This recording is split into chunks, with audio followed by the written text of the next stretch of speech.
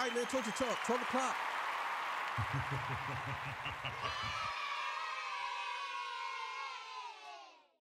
Twelve o'clock show. Sorry, I look like Ray Charles. Twelve o'clock show. So look, man, or Stevie Wonder actually. Um, so look, we're gonna talk about decoding squabble up video, and this this is very interesting because there's a lot of stuff I think people missed. You know what I'm saying? And there's some things that we're going to discuss in this. You know, I gotta get a legendary spell. This is Torture Talk. If you like the content, please consider subscribing. If you're new here, let me work for your subscriptions today. All the beautiful, single, sexy ladies, put one in the chat. All the fellas, y'all know where to find the ones at. Just don't harass them. I don't sell no merch, but I do have content absolutely free. But if you want to leave a donation, links is in the description. Cash app. You know what I'm saying? They called me the hidden gem. I went from 1,300 subscribers to over 12,000 subscribers. You know what it is. The King of the North. Let me know what kingdom are you from. Are you from the kingdom of Los Angeles, LA, the kingdom of Camden, New Jersey, the kingdom of, uh, you know, I don't know, any kingdom you from, let me know. So we're going to get right to it. we be back to discuss. All right, so let's go, man. Let's decode this. Let's listen to this. Let's go. Kendrick's Squabble Up music video is packed with layers, callbacks, and cultural references. One of the biggest takeaways is that Kendrick might be hinting at a double album. Two of the referenced albums in the video, Isaac Hayes' Black Moses and Nate Dogg's G-Funk Classics, are double albums. And the second volume of the Nate Dogg album is what's spinning. When you combine this with him hinting at an appearance at the Compton Christmas Parade on December 14th, it wouldn't be surprising if another project was on the way. He's also clearly been planning Now, I was saying that I believe that Kendrick has either, I believe, and this, y'all might think this is crazy, but I believe he has a double album of this, and I believe that he has an actual different album coming before the Super Bowl. I think this is just a double album project that he split into two. You know what I'm saying? And this way he can he can have one go off and then another one go off. But I think this next album is going to be totally different from these albums. You know what I'm saying? And the reason why I think it's it's a double album because in the in the first the G, uh, GNX video, um, when he has when they open up the curtains, there's two cars instead of one, and everything is in twos. You know what I'm saying? Everything is in twos. If you pay attention to a lot of stuff, everything is in twos. But it's two cars, and this is the first. And I also, this is just my theory. I believe that this one, this album here, represents the Crip side of LA and of, of California. That's what I believe. And I believe the other one is going to um, represent the other second one is going to represent the blood side. That's what I believe. Now I'm not now I ain't hear that. I'm just thinking that to myself. You know what I'm saying? So tell me, let me know if the, if y'all if y'all think that that is something that's true. So let's keep it going this album for a while. The scene with the kid controlling the hydraulics on the car with a remote control directly ties to a post on Kendrick's Finsta years ago, where he's seen as a child playing with a remote control GNX, the same car his father owns. The video and the song opens with Kendrick saying I am, which reminded me of the Heart Part 5, when he started with a quote saying I am all of us. The full phrase reinforces the reincarnation theme woven throughout the album. The Soul Train style Now, I, you know, you know the whole that all comes from the Bible, I am, and all this stuff. And I'm looking at this dude here, and he does look like he kind of looks like uh what was that movie? The Eddie Murphy and the uh, oh, Coming to America. Coming to America, right? Uh who was it? Sexual chocolate. Not sexual, not sexual chocolate. Yeah, he looks like sexual chocolate. Because it was the other dude in Coming to America, the pre the preacher, Arsenio Hall. The sexual chocolate was Eddie Murphy Let's keep it going. board reads Omnia est aliquid, Latin for everything is something, which isn't just a nod that every symbol in his videos, everything in his music is calculated. It's a callback to Kendrick's belief that societal change begins with personal transformation. Even the set itself is a tribute to the Roots' next movement music video. This reference feels deliberate given. Yo, that's crazy. I didn't even I didn't even pay attention to that. Yo, that's crazy. I know. Listen, bro. I know when the Roots seen that. I know they felt good. I know Black Thought felt good. This guy Kendrick, bro, he's bro, yo, this guy Kendrick is amazing, man. He's putting himself in position with everybody everywhere, bro. And when he says he's everybody, I am, I'm all of us, bro. He's really, he's really pointing out a lot of these artists that I mean, don't get me wrong, the Roots is definitely uh, one of the biggest groups of all time, but they don't really get a lot of recognition for what they did for hip hop, as far as them being the only, I believe, the only hip hop band ever. You know what I'm saying? I just think the Roots were, they were so good, man. They were so good, and they don't really get the recognition that they deserve. You know what I'm saying? But let's keep it going.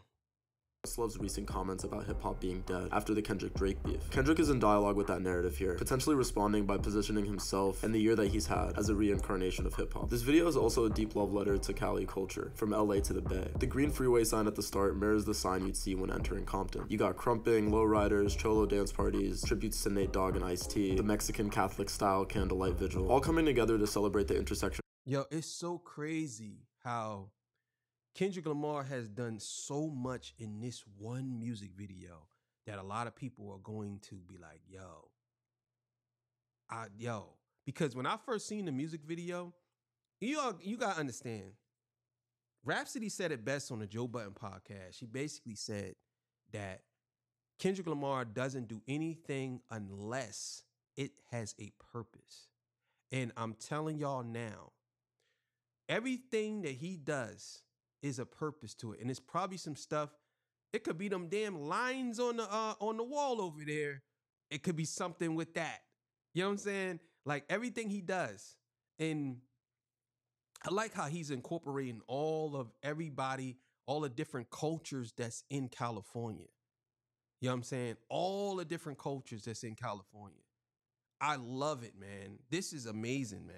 Amazing work of black and Mexican culture in California. The little boy on the power wheel nods to menace to society. It mirrors a scene where a child's innocence is a contrast to the surrounding violence, a consistent theme in Kendrick's work, being a good kid in a mad city. He also shows a lot of love to the Bay. The hyphy t-shirt and scraper bike reference legends like Keak da Sneak and Trunk Boys. The digital belts, the girls taking photos.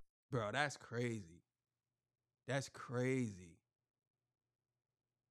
Yo, the way he's the way yo, it's so crazy how he positioned everything in this in this music video. And and it's it like I said, man.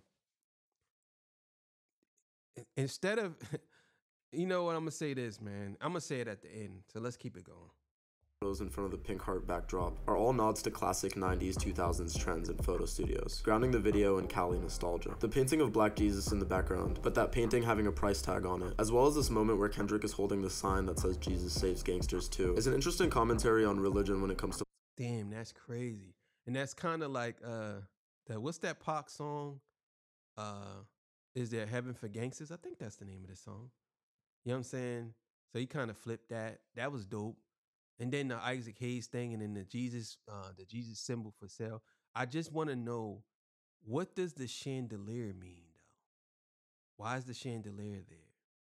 Is it like is it something that we're trying to reach because all black people wanted them chandeliers in their house? That could be that.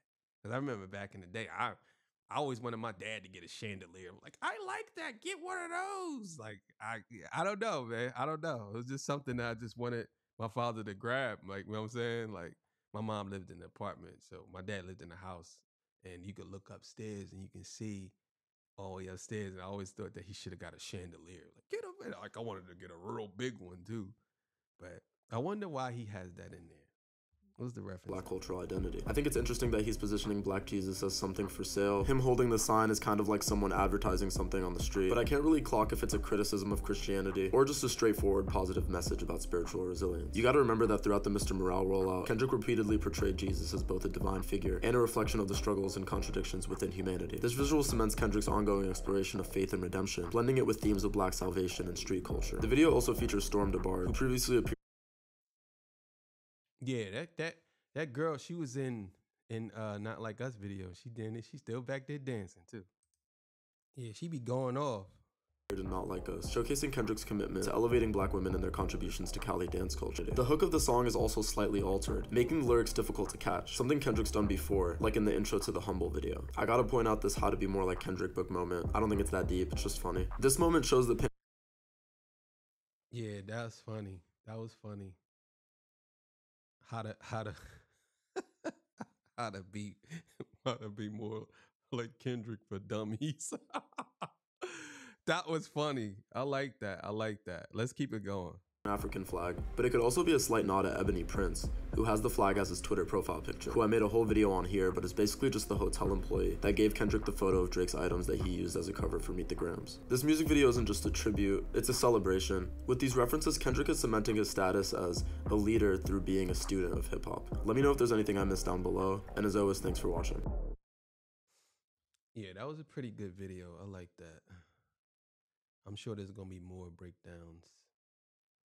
Um, there was a couple of things I believe he missed too, like the Ice T, uh, and then also too. Um, let me go back. Let me see if I can find it real quick. Go back a little bit. Okay, so the girl, that's a reference from Ice T, one of Ice T's cover arts of his album, and this is from right here. I believe this right here is from uh uh what's um not Menace uh what's that uh Jungle Fever when uh Radio Raheem did that. You know what I'm saying? I don't know if this person here is representing that, but I remember Radio Raheem he he did like that. You know what I'm saying? And I could be somebody else in another movie, but I remember Radio Raheem put that in. So I don't know what what this actually means right here of the chick chick taking the guy's belt. I don't know what that means. That could mean something I don't know. Um, he did get knocked out by this dude. Well, he actually knocked him out. Then his girl knocked him out, and then now they taking his belt. Maybe that was a thing back in the day. I don't know, but either way, it's pretty dope, pretty interesting. Yeah, so that was pretty dope. Decoding the squabble up video.